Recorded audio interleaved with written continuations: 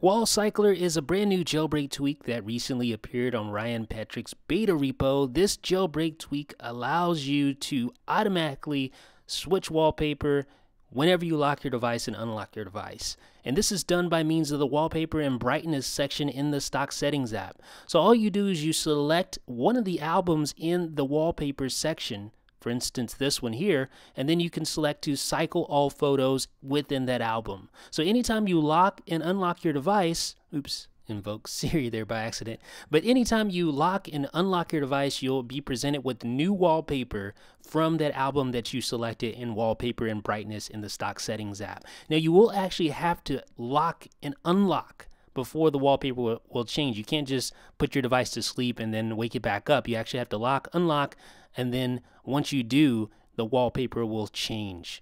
Now, what if you're the impatient type? What if you're the person that doesn't want to lock and unlock their device, but you want the wallpaper to change anyway? Well, you can do so by means of an activator gesture.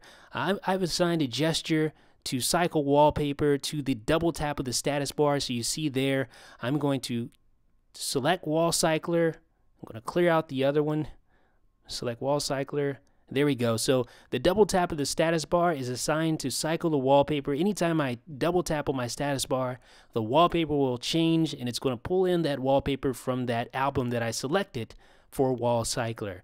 So pretty simple jailbreak tweak, straightforward. It allows you to cycle your wallpapers either manually or automatically whenever you lock and unlock your device.